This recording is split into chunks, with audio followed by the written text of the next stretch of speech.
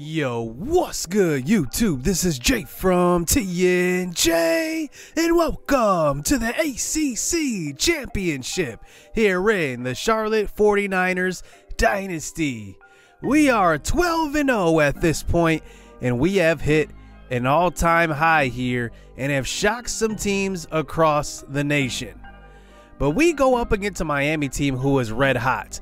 After starting the season 2 and 4, they have now won 6 straight games, including the last game of the season beating Pitt, who was only a one-loss team and propelled themselves to a conference championship bid.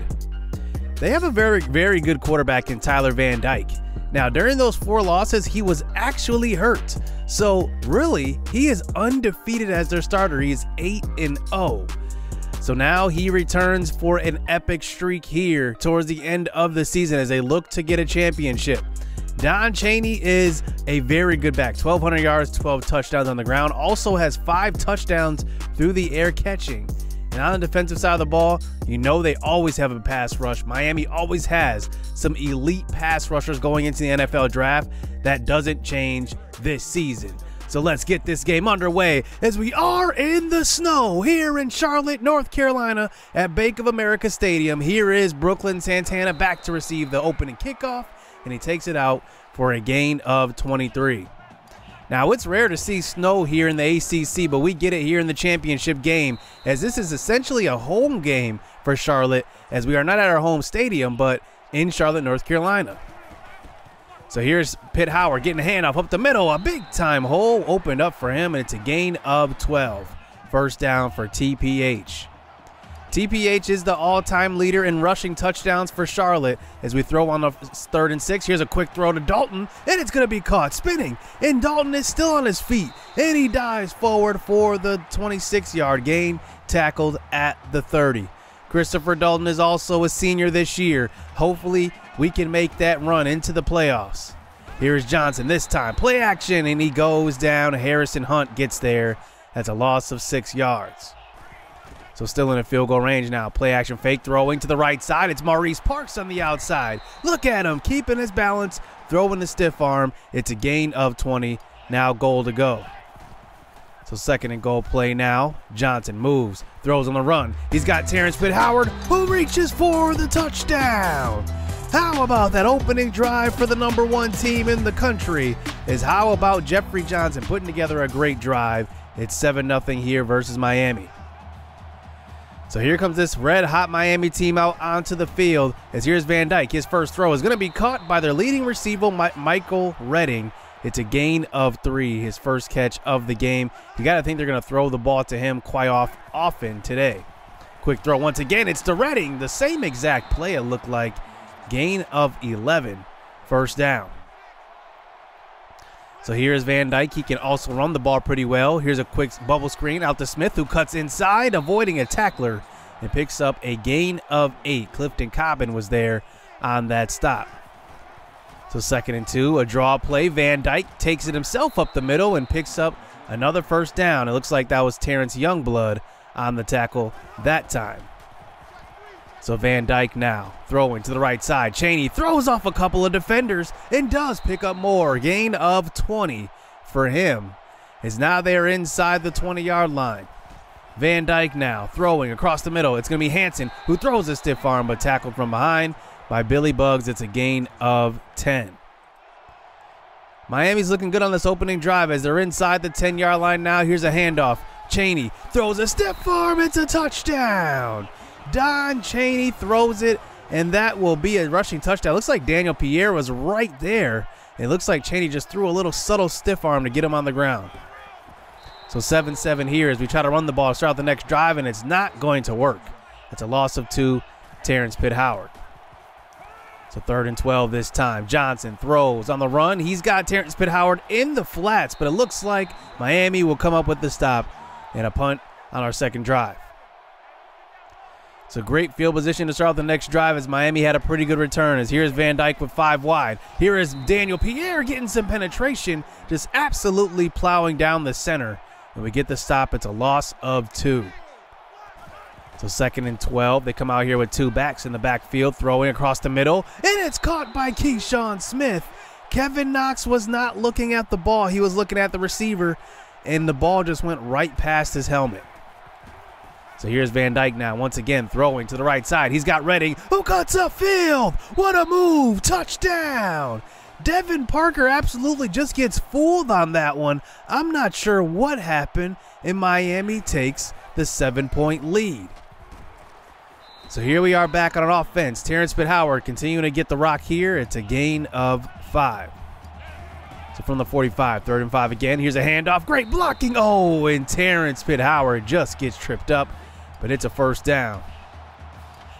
So now here we are, about four minutes left here in the first half. Here's a throw down the right sideline, and it is knocked away. Keontre Smith, as that brings it to a third and 10. Johnson from the pocket here. Three wide receivers out there. He's going to throw to the sideline and almost picked off. He tried to lob it over the top. It looks like he threw a bullet instead. And that's another punt for the Charlotte offense. So here's Miami back on onto the field. They try to run the ball right away, and that is a stop. CJ Miles was there in the backfield. So second and 12, another speed option. Van Dyke keeps it to the right side and does take it for about a gain of 10. Terrence Youngblood was there on the stop. So third and two, Van Dyke throwing a wide open Hodges. He's got it in space, throws a stiff arm, and the tight end picks up a gain of 18. So they move the chains once again as Miami has had a couple of good drives so far. This one looks like a good one as well. As CJ Miles gets beat off of the blocks and looks like that was a quick pass design. First down. Van Dyke, once again, another first down carry, and he keeps it up the middle for a scramble, picking up a gain of 18. He's got decent speed as well. You got to watch out for him scrambling as well. So here we go. Inside the 10. Van Dyke, handoff. Chaney on his feet still and does fall forward for a few extra yards. It's a gain of five. So second and goal now. Here's a handoff. It's Chaney to the outside. Touchdown. 21 to 7 here. Miami is looking like their offense is carrying them as they have a top 15 defense as well. So two minutes left here in the first half. Here's Brooklyn Santana with the return on the right sideline. He takes it across the 50 and gets a pretty good return to start us out here before halftime. So we started out with a handoff, and that is Terrence Pitt Howard, but this defense is there. That's a loss of one. As Terrence Howard still stays in the game here for a third and 11 this time. Johnson tries to get rid of it. It's a sack. And we lose another drive to punt. And now here we go, down 21 to 7. 55 seconds remaining. We cannot allow them to score. So here's Van Dyke under pressure right away, and we send the blitz, and that one gets to him. That one's Daniel Yates that time. Nobody blocked him. Sent more blitzers than they had blockers. So second and 15 this time. Throw into the sideline. It is Keyshawn Smith again. Gain of 14. They get all of that yardage back and more. So third and one. They're going to run Redding in motion. The handoff to Chaney, though. He gets to the outside and a great stop. And that is a great tackle by Youngblood. And it's going to be maybe inches to go. And they're going to line up to go for this here. Six seconds left here in the first half. They're just going to throw a Hail Mary to the end zone. Van Dyke. Let's see what he's got. Throws it. It reaches just the corner of the end zone, and it's picked off. That is CJ Miles on the tip and catch. And he will take it back to the 30 and that interception will take us into halftime. 21 to 7. It looks like Miami's came to play this time in the snow. And we're going to have a uphill battle to climb. So here we go.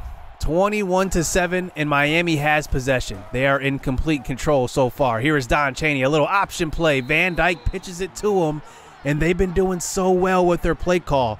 It's very very versatile. They're keeping us on our toes. Second and eight this time. Here's Van Dyke up the middle. he takes it for a gain of two. So that eventually brings it to a third and six this time. Van Dyke, three wide receivers out there. We send the pressure. He gets rid of it across the middle. It's Redding again. They just find holes in this defense no matter what they're doing running the ball, passing the ball.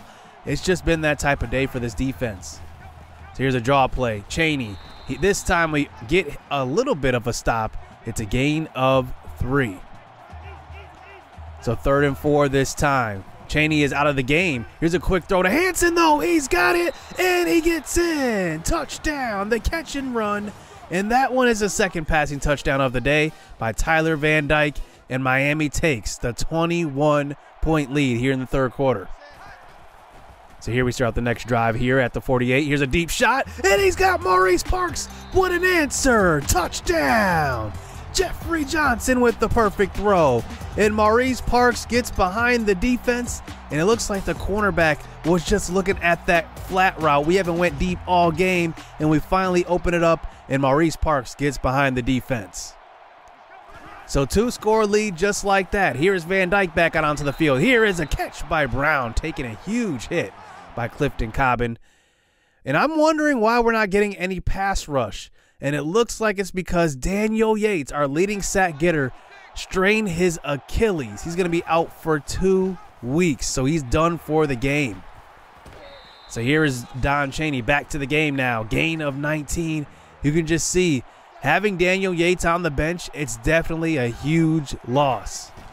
That's going to be Gabe Griffin who does sub in for him, though, on the right side of the ball. Here is Van Dyke, though, keeping it on the option. It's a gain of 17 inside the 10. Miami has just not been stopped on offense at all this game.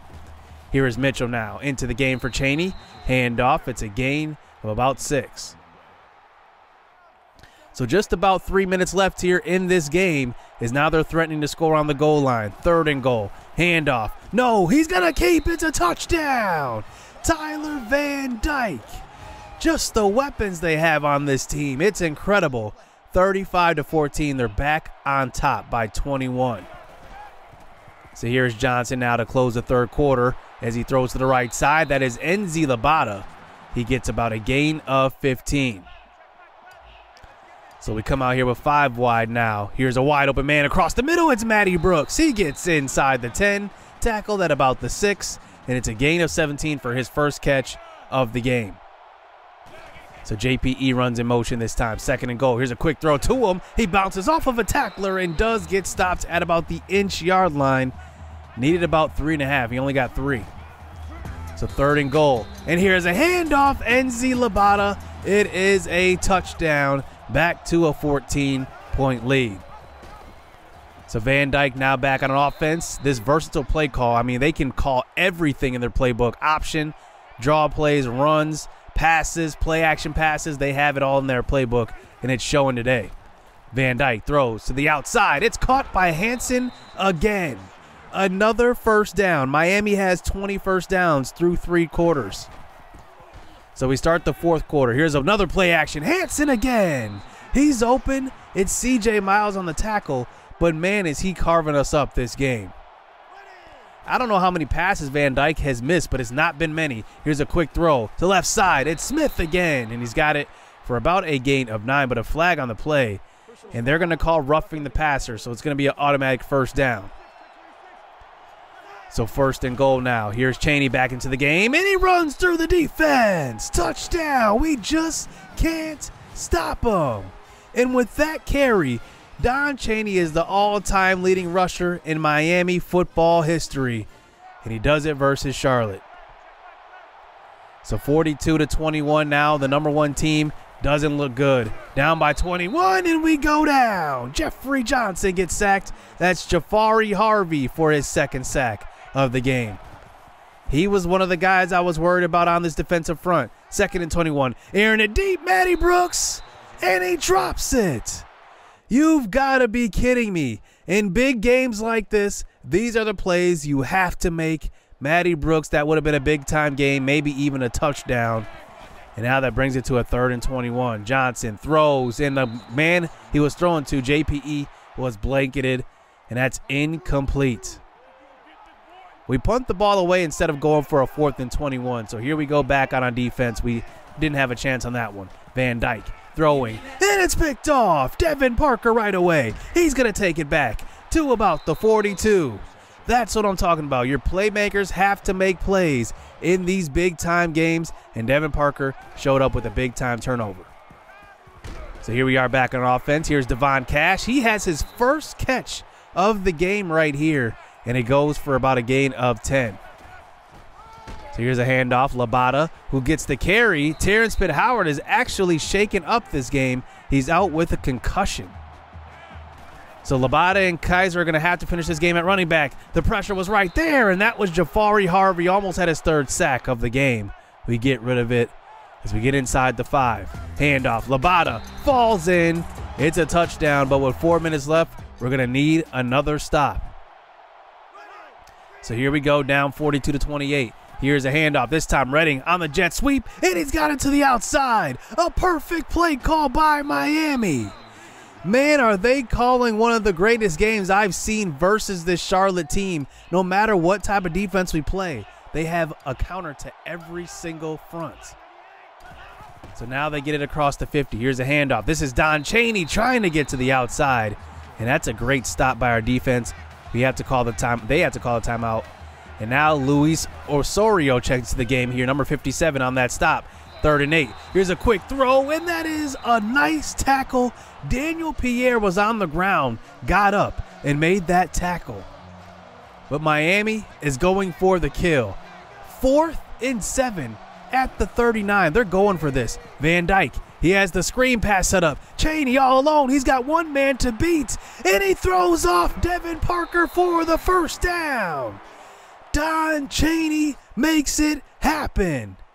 He throws off Devin Parker. He can't make the tackle one on one. And Chaney ends up with the first down. So now it's under a minute and a half left. Chaney, handoff, touchdown and they go for the dagger with that one 29 to 28 and that one ends up being the final straw miami beats the number one team in the country in charlotte. It took us 12 games to lose one but now we walk away with our first loss of the season. Miami was red hot and i gotta be honest with you if their starting quarterback was not hurt they could have made the college football playoff and even went undefeated. I think they were that type of talent, and you can see it today. I mean, this is a very, very good football team. But in the snow in these conditions, Terrence Howard getting hurt, Daniel Yates getting hurt. We didn't have any pass rush the entire game. That ended up being a huge difference. And our defense just could not stop their offense. They put up 49 points on us. And I don't think we'll drop in the rankings too far. I think we'll still be in that 18 playoffs since we're number one in the nation and we lost to a very good Miami team. And we end up getting two turnovers, but they ended up not mattering much. Parker's was very clutch, but it wasn't enough. 49 28. Jafari Harvey, one of the best pass rushers in the country, he had three sacks. Tyler Van Dyke had two touchdowns, two interceptions, and Don Chaney ran for four touchdowns, and he broke that record. So we look at the top 10, or at least the top five, or top eight after that conference championship week. Tennessee ends up beating Auburn, number nine. They dropped to number nine after that loss, 30 to 13. That's a three loss Tennessee team who was number one in the nation. How about Florida, though? They were 9 and 3 on the season. They did not make it to the conference championship, yet they are still number 3 in the country. Oklahoma, deservedly so, is number 4. I think they maybe should have been number 3 as they defeated Texas by 21 in the conference championship. And then we find out we dropped to number 5. Charlotte is right in front of Northwestern, a very good team. They had two losses on the year, one at Minnesota, and then later in the season they lost by a score as well. Number seven ends up being Rice. They get back into the fold here. They will make the college football playoff, this 18 playoff. Their only loss comes to Ohio. They have the number seven seed. And number eight was definitely up for grabs, and South Carolina grabs it. They had a terrible loss at the end of the season there versus Clemson, 17 to 40, but they ended up having their only two losses only by a total of 12 points. So that propelled them past Auburn, who lost in the conference championship in the SEC. So we get three SEC teams here in the college football playoffs, one Big 12, zero Pac 12 teams. California might have been one of those snubs. They lost an ugly game to Oregon State but their strength of schedule was not good. They did lose the number one Tennessee, but the Pac-12 was just not strong. UCLA was 9 and 3. That was the best team in that conference besides Cal. Even USC who they beat in the conference championship was 7 and 6. I mean, it was just a weak schedule and that's why they did not make the playoffs. Now, good news going into the college football playoffs. Daniel Yates is actually going to be healthy. Now, he was initially going to be a two week injury, but now it looks like he's going to be healthy. So that is a good sign. So here is the bracket here for the college football playoff. We make it as the five number five team in the country, the five seed, and we will take on Oklahoma, the Big 12 champions. They just beat Texas by 21 points. It's going to be a tough game. So that's going to do it here. Can Charlotte continue this great season? And next episode, we will have our first ever college football playoff in this series. Hit subscribe, hit that like button. Stay tuned. Let's get it. Let's go. I hope the rain don't come in November. Cause the summer went way too fast. I'm trying